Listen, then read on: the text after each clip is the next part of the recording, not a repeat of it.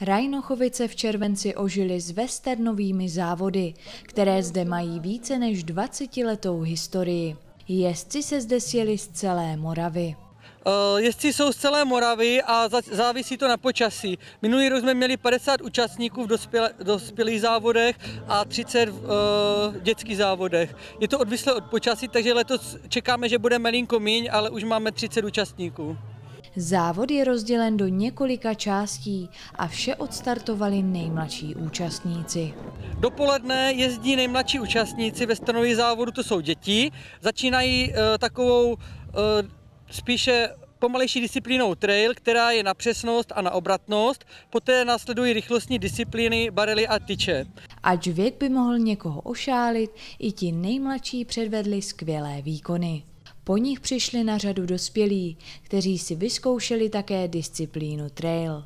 Poté následuje slavnostní nástup a po slavnostním nástupu rychlostní disciplíny pro dospělí.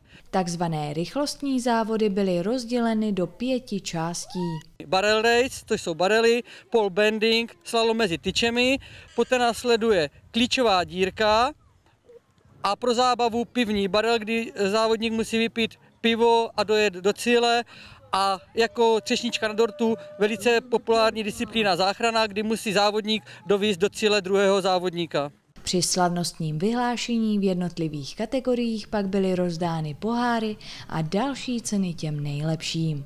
Celou akci si užili nejen závodníci, ale také návštěvníci, pro které si organizátoři připravili nejen pestrý program, ale i výborné občerstvení. Závody vynikající, škoda, že nevyšlo lepší počasí. No je to tady hezké, líbí se mi to tady. Jsme tu od rána a no, líbí se nám to jako, ne, ne, žádná speciální disciplína. Jo, mi se to líbí, krásné to tu mají, pěkné, pěkné to je. No určitě je tady krásně, sice slunko nesvítí, je tady, ale závody se vydařily, příští rok přijedeme znova. Ranč pořádá nejen tyto závody, ale organizuje také výjížďky do přírody, výuku jízdy na koni nebo projížďku na bričce po okolí Rajnochovic. V koňském duchu pak probíhá také letní tábor pro děti či víkendové pobyty v přilehlém hotelu Polom a hostinci ve dvoře. Z Rajnochovic Markéta Plačková.